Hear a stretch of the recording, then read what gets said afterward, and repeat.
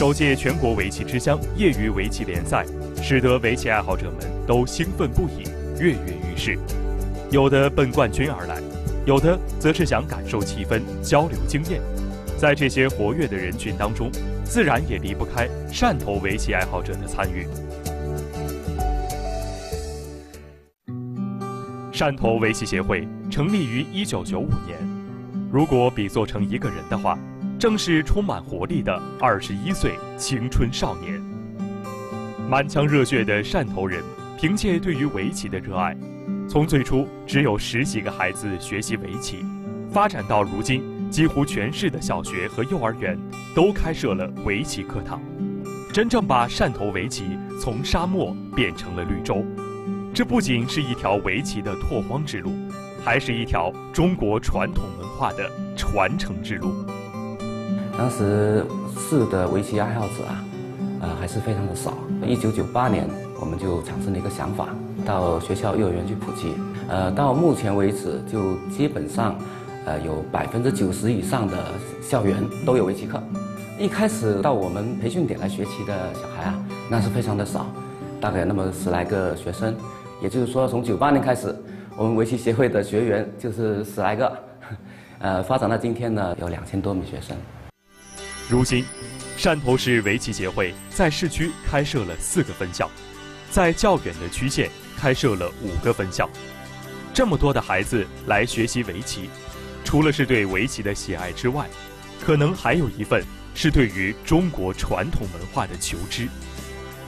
曾经是围棋运动员的吴丹林。现如今是一名围棋文化的传播者。从棋手要去转化当当老师也不是很容易的一件事情啊。就是你下棋，你的想法跟你要表达出来，你怎样去教好孩子，其实还是两两回事。我记得我第一次要上场的时候很紧张啊，我连那个小朋友好那个台词我都要写在纸纸上面，然后连第一节课我要上什么讲的什么故事，我全部对白都全部那个从头写到尾，然后在家里对着镜子。镜子在那边念，后来接触到孩子，就两个月时间我就被俘虏了，后来就留下来了。可能越来越多的人会认识到这个学围棋它的好处。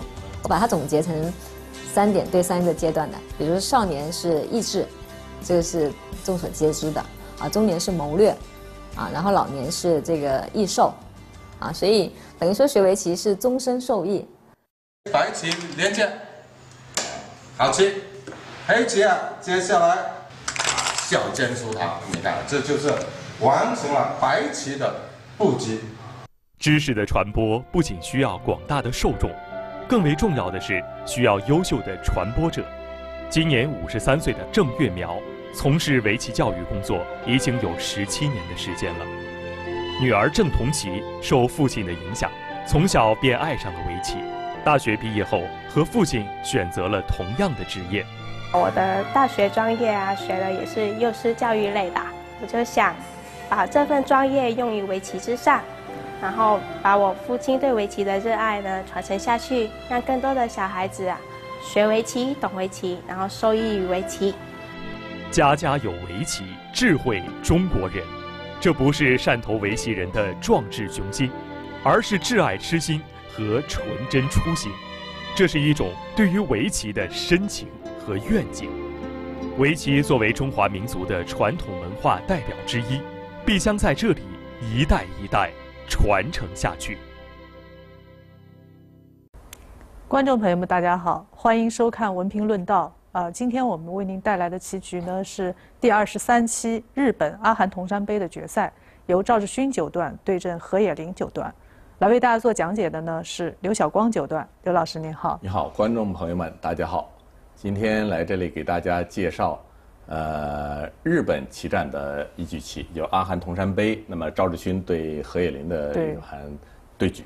没错，呃，这个我想刘老师跟赵志勋九段应该是同期的人吧，算是。呃，赵志勋比我年龄大，年长几岁，但是呢，他那个时候呃应该辈分比我要早。他很，他是韩国人，最早到日本呃就是道场学棋，一直是啊，对，一直是在日本呃棋院的所属棋士在那里呃呃比赛。对。啊，的那他真是老棋手了。对，呃，当年的赵志勋九段呢，拿了无数个国内日本国内棋战的头衔战的冠军，呃，有本因坊十连霸啊，然后还有各种各样的棋战冠军，也拿过富士通的冠军。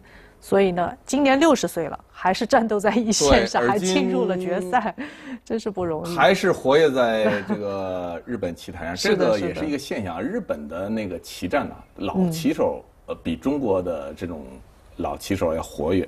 对，没错。你像何野林也才八一年的，今年三十五岁，但是还正当打之年呢。我们的比赛很多，你三四十岁就很少见了。对，现在都是九零年，九零后是主打了。对。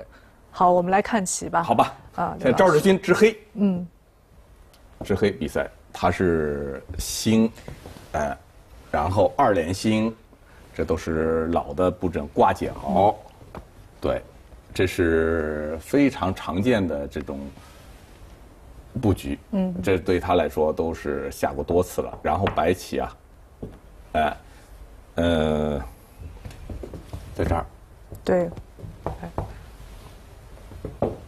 这样的，嗯，呃，这个布阵呢都是非常常见的，是吧？挂角，然后，哎，这个一间加是吧？一间低加，嗯，非常常见。嗯，点三三这样。感觉日本棋手的布局呢，还是，呃，就不是那种特别流行的现在的那种进行。哎，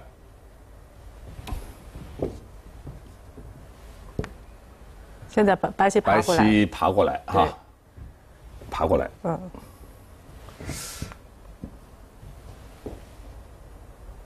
在这儿，长一个，长一个，白棋贴起来，贴起来，冲一个，挡一个，断，吃，这是一个定式。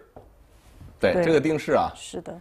呃，下的多了，非常常见，尤其这个，呃，这种二连星啊，呃，走大形式的棋，嗯，呃，然后打吃，这都是没有什么特别的变化，应该是按套路走，然后打吃，对的，这个棋呢也是单提，这个也是最常见，没错，哎，最常见，但是下到这个时候啊，赵志勋常考了。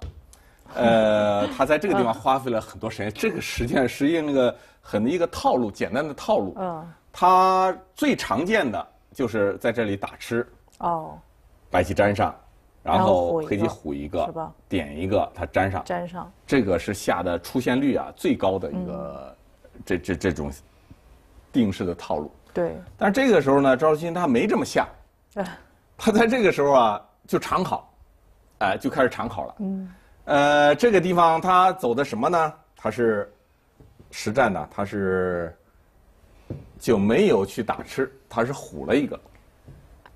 对他之所以能长考，这跟时间还是有点关系。因为日本的阿含童不像我们的阿含童都是快棋，他们那个用时是每方一个半小时，然后才进入一次一分钟读秒。对，但是呢，这个有很有趣，嗯，就是他。虎了一个，然后连着几手棋啊，他都在长考。他长考多少时呢？总共才一个半小时。他就这个三四手棋啊，他长考了五十多分钟，五十四分钟。啊，这样啊，他真的是，就赵志勋当年的时候就是以长考著称。对，你说的对，他是。大家如果觉得他是不是不懂啊？他在想什么呢？这个其实是误区。对，他实际上他都是知道的。嗯，他就是为了进入状态。我的理解是他为了进入状态。没错。嗯，赵志军有这个特点，他是在前面常考。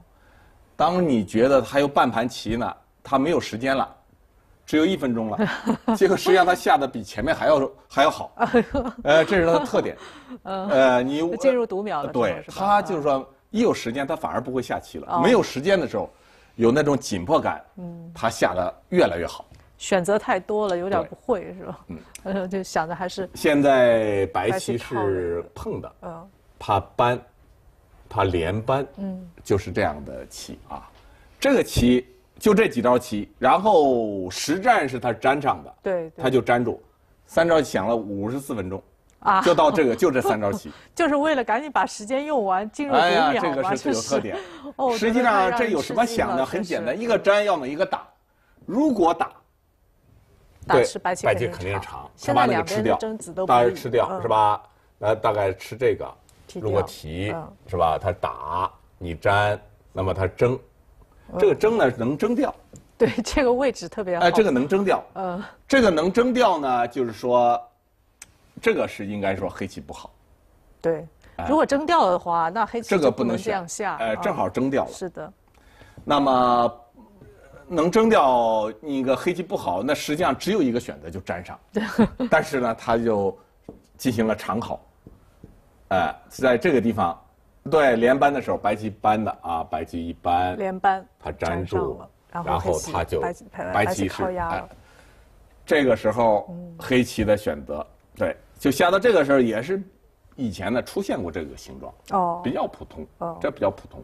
就我在想，黑棋如果说扳底下，刘老师，嗯，那么白棋连扳，他不能打湿，他肯定粘上。对。那如果说他想选择有所变化的话，他在扳底下之前就应该有所选择，比如说 长啊，或者是走别的。就这三招棋，他想了很久很久，结果把时间快用光了。嗯，呃，阿含童实际上只有一个半小时。对啊，嗯，因为到下到这儿都有一多半了。嗯，现在黑棋长了一个。您觉得这个定型还比较普通？这个比较普通哦，非常常见的普通定式。对，搬一个，搬一个，它断，它就给它吃掉。哎，拐了，这个时候要吃，如果不吃，那你说？都白棋如果先打掉，他可能再拐就脱先了啊。比如说，对，呃，比如说啊，他在这个时候，如果你说我先打，先打他长，他拐他再打。如果这样，你再来拐的时候，他就可能黑棋就去走别的了。比如说在在这个地方走一个，对对，他一定是脱先，那两个就不大了。没错。但是如果这两个没打呢，脱先，他这个白棋把那两个吃了，就侯一个吃住。嗯，那还在上面要长是先手对，所以在这个时候呢，他就白棋单拐，实战是单拐的，是。单拐，对，它是单拐这个形状呢，这个就要吃掉，对，这个没有办法，嗯，是吧？这个棋呢，啊，呃，走成这样之后，白棋挂角了，白棋挂角，对。这个也是现比较普通，也许黑棋吃在这里可能也许好一点，但是它这个都 都没关系，应该说是呃很常见的吧啊。对，棋局还早，还早。这棋这个棋呢，一间低加也是一个有谱的。这个一间低加也有谱，这个是最常见的一个。嗯，他们走的这个棋啊，都是过去下的特别熟、特别烂的棋，熟烂熟于心的这种下法。呃，大家看着可能也比较熟悉。定式，剩下定式，然后点三三是最简单的。是。现在还有比较普普通的，说跳了什么照啊，这个都是比较复杂一点。但是点三三是绝对普通。嗯。他就点个三三。是这个赵志军跟他下了两个人呢，下到这个时候都是没有走什么新鲜的招，不像现代布局，这个是过去的那个老老套路，特别多 下的。点三三呢就只有挡这面，因为这里没有这个这八成都是挡的，不会挡这面的。那边太宽了，而且这底下头还哎对，挡那那边好像不太对，看着。挡这面是为了落先手。嗯。白棋爬，它长，然后就这样走走定式了，对，是吧？对，走定式，对，然后跳一个，对，这个棋非常常见，是，应该说下到这个时候，一下子快成一个戏棋的局面了。嗯，对，戏棋局面。看到这个局面，就是想着这个现在，呃，中韩之间的这些棋啊，一般都是。好像一开始这么普普通通的开局很少，要不就走一些流行的变化，要不然他们就是，呃，一开始就开始战斗那种棋也挺多的。嗯。但是看到日本棋手的这个下法呢，就觉得，哎，这个好像是呃，已经有有年头了，这个有年头不下了，是吧？有年头了。呃，下的都是这种，呃，不是，反正不是现代布局了，已经。对对对。呃，现在。现在走成这样的话，就是说黑棋要么就往两边挂，选择一个的。对，以前我记得刘老师有这样挂的。挂的，那么它飞小飞一般是啊，它也飞一个尖三三，尖三三啊，然后就拆二吗？还是或者飞上来？飞上来居多。好，这个也是很多的。这个呢，就以后敢不敢打入？对对。那么白棋可能在那边来走一个，连一个，哎，连一个，就大概就是又是这样，等于我们叫做铺地板的棋，就是大家走和 和平棋。嗯。呃，你走你的，我走我的，这个呢也没有什么大的战斗，就是拼空。对。呃，这日本有那个时候有有这说，叫讲理论，理论派，就是 给你走一个收官子，他觉得棋就该这么下，收收官。对。呃，给你呃就说理论，嗯，呃，理论派。有这样的说法，刘老师说日本棋手呢普遍那个后半盘就收束。呃，大家都普遍修炼的比较强，因为他们觉得觉得呃前面差不多走走，然后就进进入中后半盘的收束，所以呢，大家就很注重这个后半盘的收束问题，嗯，而不是那种战斗的局面。战斗的局面。这个现在中韩这个棋手啊，他就是尤其现在年轻的，嗯，他不管你那么套，就是给你 先实战解决，战斗，呃，就不你知道这种理论他全部打破，不不走不走这个棋。完全走我那么那个定式，呃，就给你乱战，这个现在，呃，占据场呃上风，对，而且对日本的这种战绩特别好，是，日本就拿他没有办法，他们不太适应，不适应，他觉得那个理论呢，呃，在这儿不起作用，呃，所以呢，像这种棋已经都对于我们的这种不很少有了，嗯，很少有。哎，那过去像下这个那时候日本棋啊，后来李昌镐啊也把它，呃，那那个年代的走官子棋已经不不太不太，现在都不是很少有了。嗯，好，我们看看实战啊。那么现在赵志勋他是挂的那面，他挂这个，挂正面，选择正面。其实刚才这边这面挂也是可以。嗯，对。这个两个我觉得是都可选择的。嗯，这个时候我就在想，如果说。啊，当然，这个白棋是何野林啊，这何野林也算比较年轻了。嗯，如果说换一个中国棋手的话，或者韩国棋手，会不会采用这个尖顶的？尖顶它长，它就飞一个，是吧？因为觉得这个现尖顶现在特别流行，大家都很喜欢下，因为这目数看的很多。如果说你肯拆一个，比如说拆一个之类的，啊，那么将来找个机会就赶紧打入之后搬粘，定型 手手控，嗯，哎，这个也是有的。对，哎，但是呢，要现在的照着现在的这布置呢，它也可能就直接碰上去了。哦，直接就黑棋碰上去，哎，对对，这个都都不是按那个那个那个，就这招。了，哎，都都这这个也挺厉害的，是，都是要求效率，嗯，高，哎，碰一个呢就是要呃最大限度的围控，没错，哎，嗯，不一样了，嗯，有可能直接什么三三呢？这个下法现在。太多不是那种过去那个按部就班的下法。对，黑棋也可以想点办法，就哎，对，对对对，这个可能居多。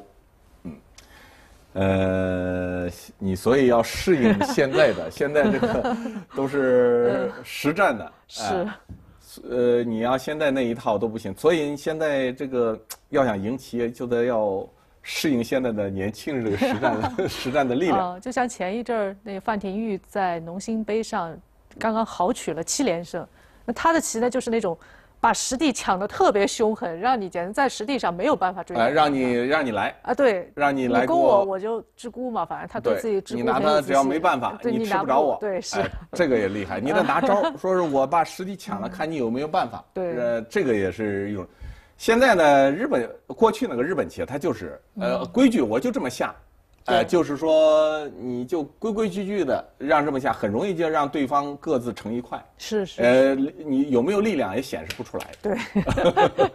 现在呢，必须要你显示出力量。嗯。呃，人家要抢了空，你得有办法。没错，是这样。你要是人家这个给你使强了，你必须得有办法治他。对。这个是现在的棋。嗯。好，我们看这样啊，还是规规矩矩的走定式，啊，这个就太普通了。太普通的一个，这样的棋出现率太高了。就每个局部这，然后各拆一个，对，各拆一个，然后每个角都下一个特别常见的。对，这个拆三，那个拆二，那就是这样。然后再走个规矩的飞。是。这个这个飞一个，这实战。嗯。那你要说走凶一点的话，你说这个也有跳的，对，这个也也有，这个就是说效率再高一点或者连起来也也有这么下的。现在您觉得是不是跳一个会更好一点呢？也可能。呃，因为觉得黑棋这个中央的势是不是应该经营一下？呃，也有可能这样。现在这是一种，然后现在那种狠的都有打入的都有可能。啊，呃，一看拆三不拆二，我就打入了，然后实战解决。对，这这是现在的棋，直接就不走，直接打入。这厉害。那么这棋下到这里的时候呢，这个局面还是很平稳哈。对。接下来会不会发生一些战斗啊？我们要呃先休息一下啊，一会儿回来继续欣赏。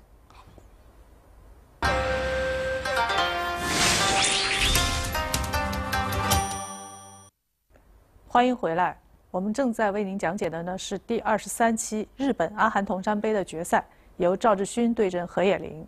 呃，刚才呢和刘老师为大家讲解到这儿，白棋刚刚拆了一个，拆了一个啊，两个人下的特别平稳。对，来走了一个飞，呃，这个是黑棋走的啊，黑棋走的，嗯，哎，黑棋走的是飞，对，黑棋飞了一个，飞一个，是，这个飞呢是特别普通的啊，是吧？这个最常见的，嗯，哎，就走了一个非常本手的一棋，对，然后白棋跳了跳一个，跳一个呢是防这个打入，哦，防打入。如果你那个拆二，我估计他会打入。哦，是这样。啊，有可能。嗯，呃，这个跳当然也是一个眼见的一步大棋，因为你中央有可能成成势，总是一个好点。没错，没错，这本身也很大。对，下面就是黑棋拆二，非常普通。哎，非常普通。下的都没有什么可说的。就是拆拆二。嗯，这个两个人就是功夫棋。对，下的是功夫棋。嗯。现在白棋点了一下，点了一个，对，挡住。这个是靠住，常见的，嗯，常见的，也是个好形。像走在这个时候啊，呃，普通的话是黑棋要，哎，对，走这个是吧？因为下步有一个正常应该这样。我觉得这个是很普通的，嗯嗯。然后这不是有冲出来打吗？对，应该是白棋粘上吧？白棋大概会粘上，应该好像粘上。这样黑棋在这里靠一个，嗯，走一个，大概是这样。对，哎哎，这又开始收官了，是，说不定马上就可能尖一个，就是这样的，哎，这棋下的好和平啊，和平和平棋，呃，非常和平，就不知道这中央，呃，刘老师，您看这黑棋中央会有有所想法吗？哎，肯定有想法，会怎么张一个吗？哎，张一个之类的，中间走一个或者怎么走啊？这个需要那个什么了。需要他们这怎么定义？这个就是完全细棋，对，这是细棋下法。嗯，他没有这么下。嗯，赵军居居然不这么下，这个我是觉得是最普通的下法，大家就收官呗，比功夫棋。对，他实战挖了。挖粘一个和粘上和那个区别，我觉得有限。就算他想这样啊，白棋粘住。现在粘这个。哎，粘这个是比较普通的。嗯。那么刚才那个走法。再继续，什么靠一个再走别的，和那个长那个区别差不了太多，可能对这个字稍微稍微不一样。但是在这个时候呢，白棋脱先了。对，白棋没有跟着他走，白棋并了一个。白棋并了。嗯，他这里脱先了。并了一个，你没有靠他就并了。这个也是个大棋。你本来靠是黑棋先手，嗯，现在白棋愣抢了一个，嗯，不去粘。那把你的原来的先手啊给杜绝了，那现在黑棋打，我想也是必然的。对，打，成为一个像是打劫的样子。现在打劫又没有特别的劫财，没错。你要这个打劫啊，现在劫财的问题不好找。嗯，黑棋能看到的眼见的劫财也就是冲一个，冲一个啊，对。呃，但是白棋也有劫财啊，这儿跑一个什么都是劫财。是的。嗯，所以也不好打，没错。那么这个黑棋他该怎么办呢？黑棋他不走了，他在这儿跳了一个，又补了一个啊，是的。这个地方 并了一个之后啊，嗯，那这个地方弱了，是有弱弱点了。如果说黑棋不跳这个的话，刘老师，这个子将来要出动是往下加还是往上长？往上长一个也让他头疼。对。嗯，往上长一个，他可能他也害怕。对，可能有一些手段。有些手段，对，不，你这个往上长一个，你是拐还是尖一个，他再走，你这个又有断了，马上要去补断了。对对对对，嗯，可能长一个更厉害。对。那么现在，这个。白棋，它很有意思。本来以为这样的棋形嘛，就有个结在这里，就提个结是很普通的想法。黑白棋提结也很普通啊，对，嗯。但是何野林没有这样下，他说你跳起来，你这个形状还是有弱点的，我继续追究。他在这儿要要点便宜，先追究你一下，你是立还是搬的，还是搬哪个？先试试应手。他总是要搬这个，对吧？对，搬这个。然后他单拖单拖的，不是打完拖啊，打完拖他有紧气的关系。对。现在呢，他就在这个地方。他搬了一个。嗯，对，搬一个。这个棋呢，如果你断，他就吃掉。断的话。呃，如果断的哈，对，断的话，他就，对。白棋断。断这个，哎，不是，断在那个地方，哎，如果断一个，对。嗯，对，然后黑棋就打吃，对，再叫吃，棋打我提掉，对，然后白棋就打吃，打吃我粘上吧，就粘上啊，呃，白棋是虎一个吗？敢不敢虎？应该粘住吧？粘住是吧？粘住再爬，呃，虎一个，虎一个，我是想摆粘住的，是吧？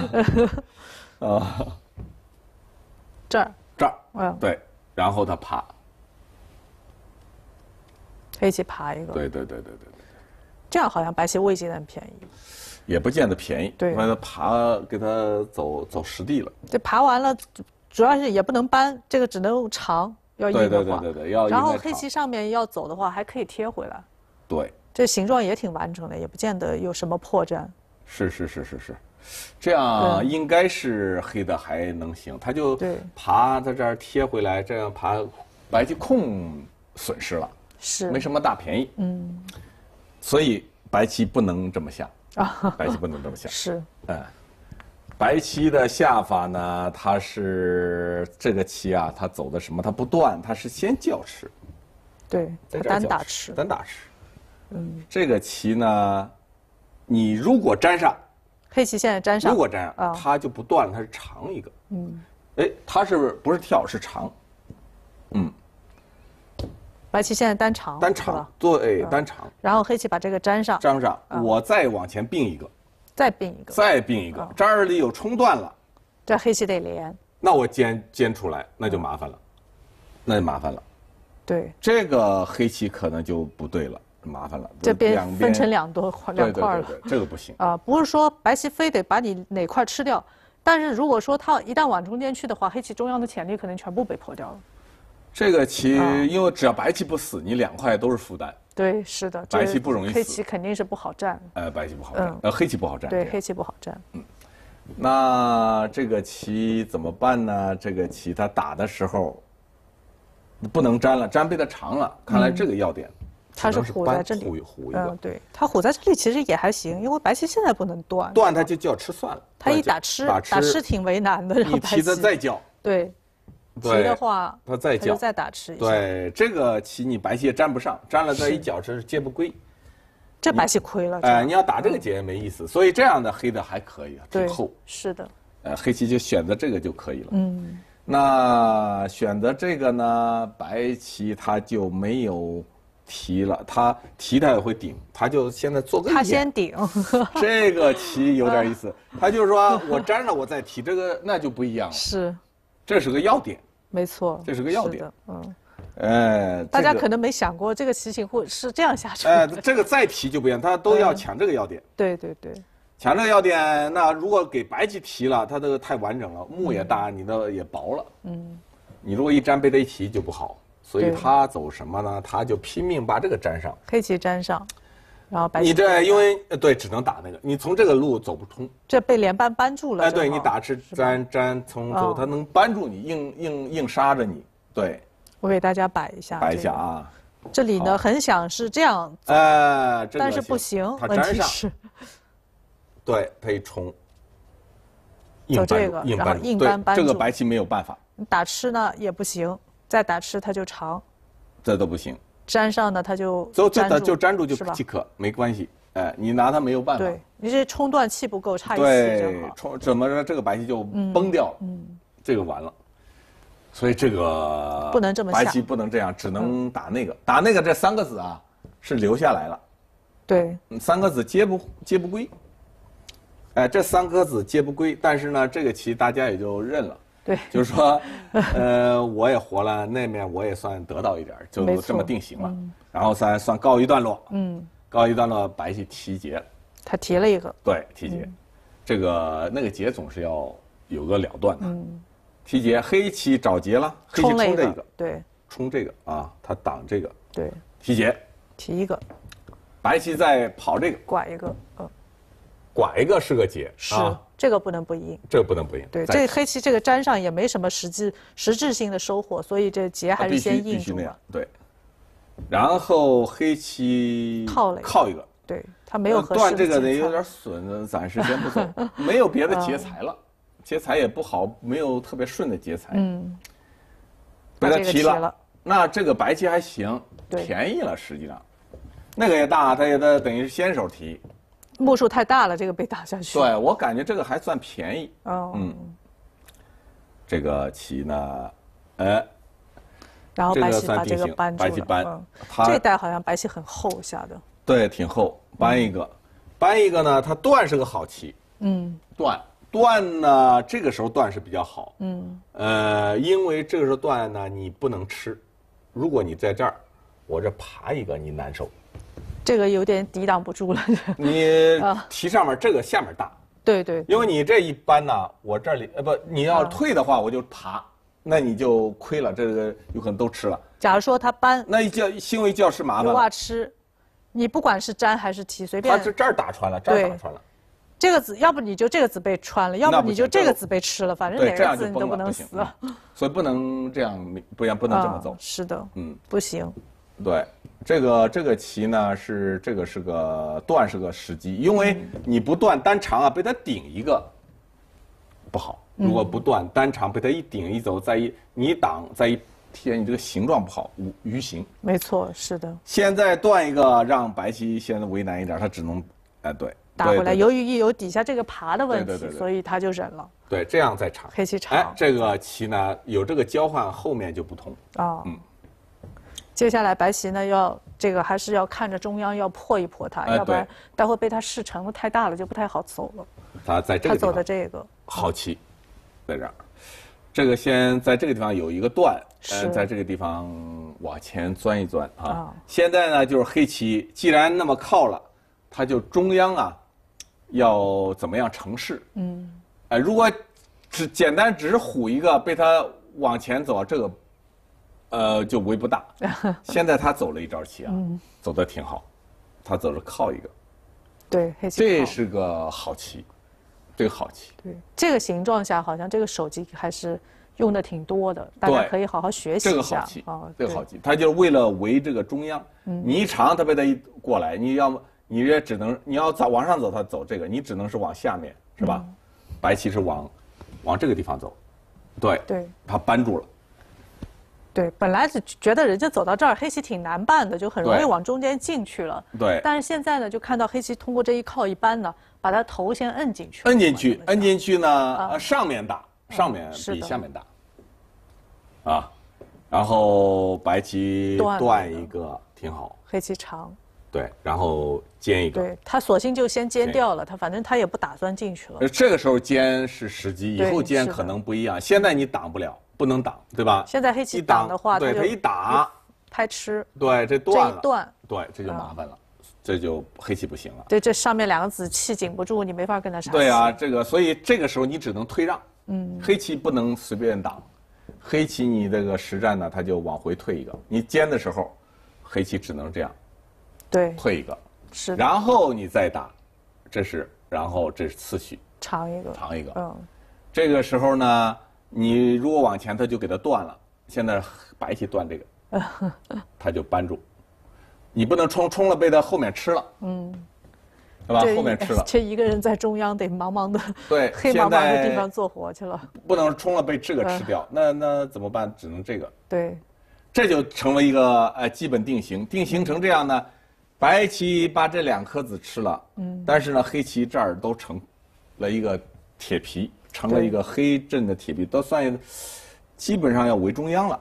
是，这个中央围起来，看能围多大的问题了。现在，看能围多大，嗯，这个就是要看判断和具体的这个，呃，就后面这这中央到底要怎么破进去，破在什么地方？对，呃，这个很关键，要看具体怎么操作了。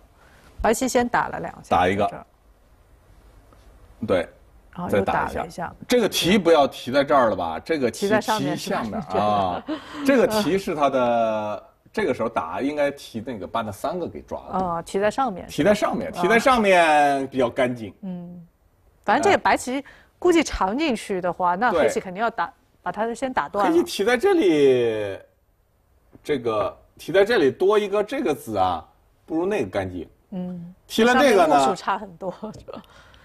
啊，是提在那面，那面那个是以后还有那个什么？对，那是黑棋的先手。嗯，现在你要是比如说你粘上的话，那黑棋就侯一个有个先手走掉。先把这个走。哎，对对对对对对，你挡他搬粘，哎，这他先手。他就搬粘。对对对对对，这样是黑的，他可能觉得这样是比较，呃，目比较大。呃，这搬粘完了再一跳，中间再撑一个。对对对。黑棋的希望是这样。嗯。但是呢，白棋没有这么下。白棋显然是识破了黑棋的下法。黑棋哎走成这样一提的时候，白棋立刻就立刻吃好棋。哎，你只能提三个，对对吧？只能这个，只能三个。哎，对，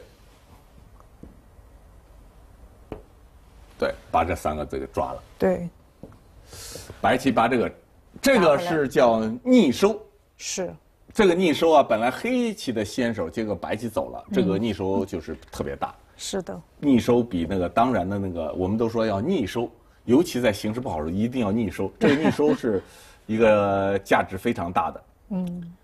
呃，黑棋现在该黑棋下了啊。对。被他这么逆收了一下。看起来何野林对于木的感觉还是挺强的。挺强的。对对，空还是看得挺重的，就是把握挺牢的。现在就是中央的走了，黑棋走了这个，走这个对，对，是的，这个地方要围要围空了，嗯，哎，他觉得走别的话，本来说那二路尖，他但是他会走中央，哎，现在呢，他就直接的围，看围多大了，嗯。嗯，白棋他的消在这儿，消在这这个还是。比较有分寸感的，不敢再深入了，看起来是。再深入，他有可能怕死。对对对，黑棋有可能要动手。真的要吃你了。这个地方呢，可能抓不着。嗯。走在这儿抓不着。结果回家的路还是一一小间就回去了，基本上挺容易连的。呃，因为他那面你要抓他那头还能有家，两头。是。这样呢，就黑棋他最后选择了自己。黑棋先打了一下。打了一下啊。这是哎，他是打的那个，在这个地方。对，这个地方。对，打，白棋提掉，提掉，你要找它又一路顺下来了。对，这不便宜，还是单提吧。单提，对，这个没有再打了。接着靠一个，靠一个，在这儿，围控，嗯，搬一个，嗯，它长，长一个啊，嗯，白棋把这个贴回来了，他也不想着再往里进啊什么的，反正他已经把你靠住了嘛，你想进也进不了多少了，在这边。他就把自己贴回来，这就大家就定型成这样，他就拐住，拐，嗯，拐粘住，然后再打一个这个，对，是吧？赶紧顶打打掉，哎，你不顶打的话，人家要顶。对，这是先手啊，接住，然后黑棋顶，黑棋顶的这个，这就大家定型了。对，嗯，这个还是下的挺简单明了的，我觉得，比较容易看明白。黑棋终于围住了。是，但是呢，呃，白棋通过削你呢，这儿也成了一点空，所以围中央空啊，看着围的大，实际上但是也送了白棋的空。对，是的。嗯，这个白棋是不是立先？对，他把这个弯掉。弯掉。嗯。哎，这才先手。嗯。是吧？弯掉先手，然后呢，他是这个冲。是。断断了一个。断一个，失应手。嗯。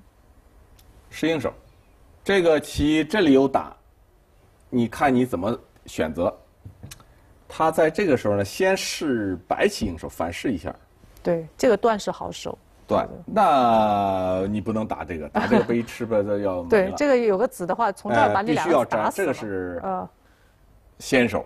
对，这有这个断，跟脚上的目数是不一样的。对，那这个也是先手，对吧？对，他再打吃打一下，嗯，白棋提掉，然后这个时候黑棋回去，黑棋选择的粘上。对，这个除了粘还有别的下法吗？别的好像，您觉得行吗？好像不行，要么你说虎一个，虎一个中间有毛病。对啊，有毛病。对。这一打麻烦，嗯，看来这个是没有，好像这样也没有办法。是的，是的。这个棋呢下成这样就基本定型了，嗯，嗯，像这样基本定型。啊，白棋应该说，这时候胜负看着围。围了半天，但是个细棋，特别细的棋。对，特别细的棋。大家可能没有预料到这棋会这么细。非常细。是的。哎，就是现在就是围中控的这个走走官子的感觉了。哎。现在白棋二路打了一下。打一个是他的这个先手，因为粘上也没有用，对吧？这是先手。先手。对。像那个尖特别大。没错，他把那个一路搬粘先走掉了，这是他的，这是白棋的权利，反正也没什么可保留的了，这是他的权利了，省得一会儿被逆收，先走掉他。搬粘，嗯，那个黑棋老想抢抢不着，那个该白棋抢了。嗯，先手这个也是来回也不差不上目。这个我记得以前的官子书上写的是双先六目。双先六目啊，说这个棋就是只要你有机会，你就赶紧把它走了，赶紧走。但是实战的时候经常是。你走了，人家可能是脱先的，呃，但是现在呢，黑棋是挡住了。那白棋算便宜了，这个便宜了，嗯，能尖着一下总好。对，尖着一个大，哎，那个挡现在就有好几个大，一个挡，一个爬，这儿还有一个打，这几个大官子。对，嗯，这几个官子怎么个收束的那个？挡，我总觉得要么觉得可以脱先吗？这个挡，我觉得打这个是特别大。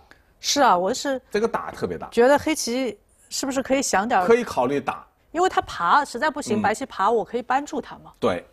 呃，这个断反正断不了，他了不起他就加进来，那我就接上就行。对，那个爬也是不小的。对，爬完之后啊，不理那一长也是先手。嗯，就看黑棋是抢这个爬还是抢这个打下去。如果是我，我就打一个。呃，打一个够大的。但是那个爬我也很很如果啊那面，比如说这边有爬有跳，中间还觉得有变数，赶紧挡一个也可以考虑。挡啊，它实战呢。对。第一个是挡的是安全，然后呢，白棋选择一个大的。他这两个大的，给他选一个，给他选一个，白棋挡了，挡这个挡非常大，没错，挡非常大，嗯，因为 黑棋爬完之后一打，他那个先手，呃，差不少目，但这个时候我觉得要打了，这个时候，对，黑棋这个时候必须要走这个，就是说这招棋必须要走这个，这个是眼见的一眼见的一招棋，嗯，这个这个打一个本身的目数。如果你提，那我先手差很多。对对对，那先手走着了，我再走别的，该走什么走什么就完了。这招棋实在是觉得没有比这个大的了。这这长这个不是很大，嗯，中间呢围半天，但是这招棋本身这个价值太大了。嗯。呃，如果打黑棋明显优势，是吧？明显优势，呃，基本上要赢。哎，这个好像没有什么特别的。他如果尝一尝，他就收收官就行了。嗯，哎，他没有走这个赵志新没有走，他走的什么呢？他走的打吃。打吃。那这个时候让白棋抢了。嗯。白棋走的这个吧。对他。白棋。击打了一个。哎，击打，对，击打。黑棋提掉。提掉，白棋粘上。呃，这个特别大，这个特别大，全部收住。没没错。嗯。黑棋要再收官了，他那儿点一个，这是他的先手。那我们看刚才黑棋其实中央围的已经很大了，但是这个打呢就觉得还是有点过于看重中央了。对，这个这个是胜负的关键。是刚才那个虽然是边角的地，但是尤其是到后半盘收官的时候，其实边角的地啊特别大。嗯。而且像这种边角的地，它是可以计算出它具体的目数的，啊，所以大家还是要。这招棋比那个明中间那个明显，这招走这个就输不掉了。现在走这个呢，他就围中央了控。他顶。围中央控啊是很辛苦的。对。顶一个 啊，好，他退一个。长。长一个。然后黑棋就是。黑棋把这个打了。打掉。对他这连走了好几手。对他这连走了两个。两个。然后是不是搬粘是吧？是的，搬粘先手就是，这是白棋的先手，然后再冲一冲，嗯，挡一挡，然后尖一尖，走一下。你会发现两手棋其实围住没几目，一二三四五六七八九，我数到这儿也就九目。这两手棋一手一手棋也就五目棋，就算他这样还有一目，一手也就五目。然后白棋把这个挡了，这个不得了，这个八目棋了，这很这八目。如果不走，让黑棋一靠，你一冲再扳过，直接过八目棋，这个特别大。是的。围了半天，关键是最后一个大的、最大的八目棋给他抢的，没有再比八目大的。嗯。剩下就没有八目了。嗯。剩下搬粘。黑棋把这个搬粘了。对。三目。四目。嗯。五目，这个也有也不小。这个是几？黑棋把这个打了吧？打这是先手，对。嗯。然后把这个粘上。把这个粘上。对，这个也不小，最大的了。嗯。黑白棋在。哦，他是黑棋，现在是先下了这个拐。拐一个，对。他想跟他交换一下，然后再走上面，要不然他如果不走的话，被白棋冲了一粘，还是挺大。也大，对。是。拐一个，他长一个啊。呃。他是先提，先对，先这儿也提了。是吧？对，黑棋提了，提掉，然后把这个弯掉了。弯掉，这先手都给收掉了。那儿是不是断一下？也是啊，对，这儿还断了一下。断了一下，断了一下。如果立一下呢，再打吃呢，会多一个劫财。以后对对对对对。相比较之下，长一个，然后长长一个，这个时候黑棋把那个粘上。对对对，是吧？黑棋这个把这个粘上，这个是的。嗯，这个基本没有关了，下面就是。非常细细了，对，非常少的了，他就冲这个。是的，冲这个呢，总是说挡是。按理说是挡住的，哎，正常来说。正常。嗯，他是没有走了，他是提的。他提了一个。提了一个，这个和这个应该是，应该是很奇怪，这个提和这个冲啊，价值完全一样。对。都是五目棋。后来的目数一算是完全完全一样。对，这个也也谁也没便宜，谁也没亏。都是五目棋，白棋长就冲出来了哈。对，冲出来，然后黑棋再冲一个。冲一个。对，很奇怪。他这个冲完了之后呢，由于白棋里面还要补掉一目，所以这价值是五目。然后把这个冲了也是提一提吧。嗯，他提了一个。对，提一下。呃，要个劫财，那是立了一下。顺手劫财。对。那再提回来这个，然后黑棋挤了一个，挤了一个，然后再提回来。这个都是顺手劫财。对，他就让了吧。对，他就白棋就打吃了一下，然后再回来是吧？再提回来。黑棋打吃了这个。哦，再提一下。嗯。再提回来。然后白棋就算了，这个劫他也打不赢，由于这儿劫财太多了。这个一二四一二三三个劫。这个劫才多，黑的劫才。多。啊，那儿有个搬一个了，是，嗯，现在走成这样之后，现在黑棋搬了一个，黑棋搬了一个，他粘住，对，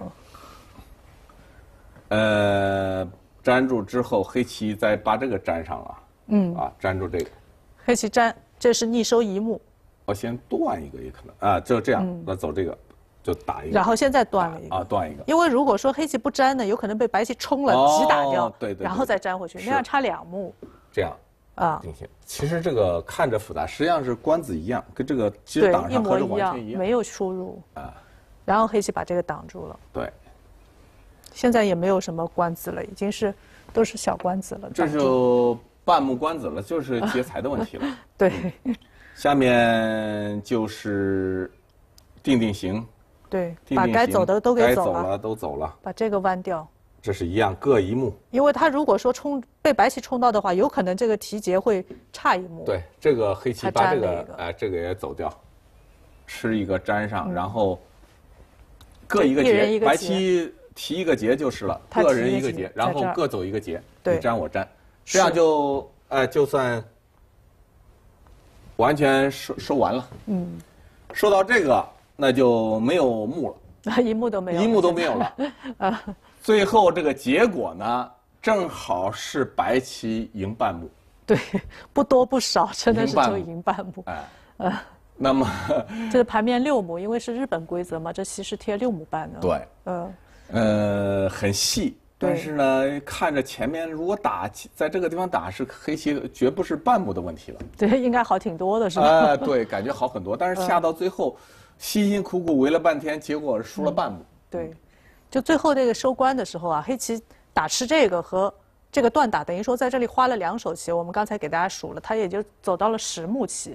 那么一手棋算下来的话才五目，哦不像这个打吃，如果提掉的话，这绝对不止十目。所以围中控啊，不能这看着围得很大，实际上你的手数一格算不便宜。对，围控很辛苦。没错，呃，其实中间呢，就是呃，已经让黑棋算围的还可以了。对，围到这个时候不要去打了。没错，哎，那个时候就已经围到这儿，就不要去打了，再把边边角这这个打掉，很大。那个时候就是黑棋，呃，形势好的很多。哎，我觉得好像不只是，嗯，这个半目或者一两目都不止，嗯，这个要好好一好不少。对，总体来说呢，这盘棋呢，就是前半盘两个人都下得很工整，然后到中盘的时候呢，呃，黑棋还是下挺出色的，比如说。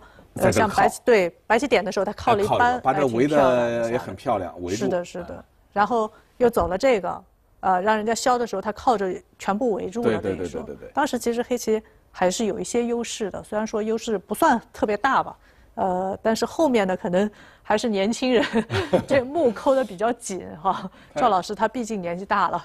但这个典型的日本的这种风格棋，那规规矩矩就这么围控，也。没有什么特别的，呃，很很激烈的啊。对，啊啊，那么最后这盘棋的结果大家都已经看到了，就是呃，直白的何野林是以半目的优势，最小的这个优势战胜了赵志勋啊。但是不管怎么说，赵志勋九段以六十岁的高龄依然战斗在一线，我们要向他致敬。好，那我们的讲解呢就到这里，谢谢您的收看，再见。再见。